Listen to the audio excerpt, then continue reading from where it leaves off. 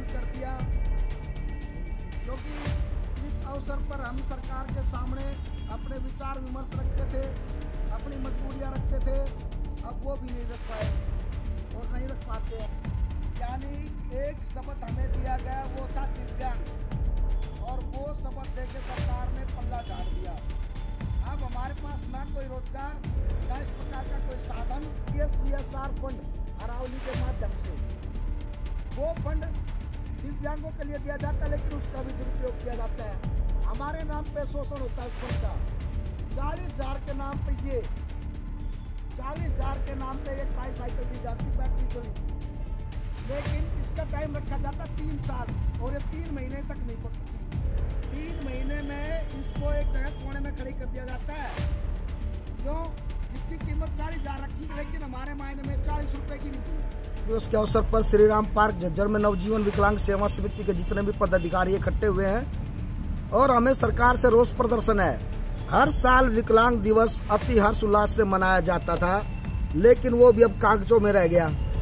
क्यों? इस अवसर पर जितने भी दिव्यांग थे प्रदेश के, ज़िले के, वो अधिकारियों के सामने अपनी कुछ समस्याएँ थे वो रखने का अवसर प्रदान होता था।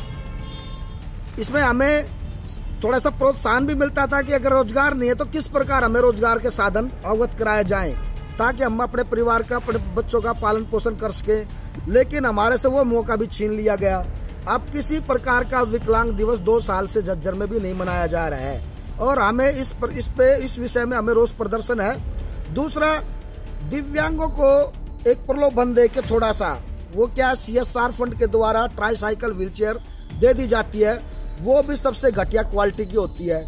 जिसका समय हमारे दिव्यांगों को तीन साल इंतज़ार करने के बाद मिलती है लेकिन वो तीन महीने नहीं चलती।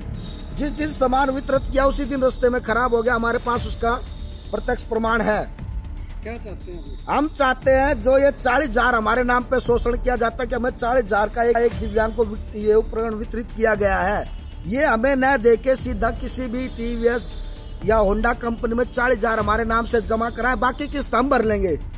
और इस प्रकार का साधन दिया जाए, तीन साल या हम उसको दस साल चला के दिखाएँगे। और दोबारा सरकार के सामने कोई भी हाथ किसी प्रकार का विकलांग नहीं फैलाएगा। दूसरी बात, जितने भी प्रदेश में दिव्यांग अगर नौकरी नहीं है तो इस प्रकार के रोज़गार के साधन अवगत कराया जाए ताकि अपने बच्चों का पालन पोषण कर सके, निर्वाह कर सके। और हमारे सरकार से यही गुजारिश है, इस प्रकार की जो स्कीम आती है, जो हमारा फंड आता है दिव्यांगों के नाम पे, वो भी हर साल हमें नहीं मिल पाता। उसमें भी सरकारी अड़चने होती है कि आपको दिव्यांगों को दो लाख का लोन दिया जाएगा, जिससे अपना कोई भी छोटा मोटा रोज़गार कर ले। उसमें भी सरकारी गारंटर चाहिए, तभी दिव्यांगों को लोन मिलता है। दिव्यांगों का कोई सरकारी गारंटर नहीं होता। ये एक पहली बात। जिसमें अपने परिवार की सहानुभूति नहीं होती उसका सरकारी गारंटर कौन होगा? सरकार को यह सोचना चाहिए, बगैर किसी गारंटर के दिव्यांग को डायरेक्ट लोन दिया जाए। एक साल में जो भी फंड आता है, हमारे नाम का नेशनल हैंडीकैप एसोसिएशन से किसी दिव्यांग को प्रॉपरली नहीं मिल पाया। हर साल वो फंड चला जाता क्यों? फिर हमारे लिए फंड ही क्यों है? इसलिए सरकार से अनुरोध है कि जितना जल्दी हो सके दिव्यांगों को रोज़गार के साधन अवगत कराए और जो हमारी मिलने वाली राशि होती दिव्यांग के नाम पर, बगैर किसी बाधा, अड़चन के वो दिव्यांगों को डायरेक्ट मिले।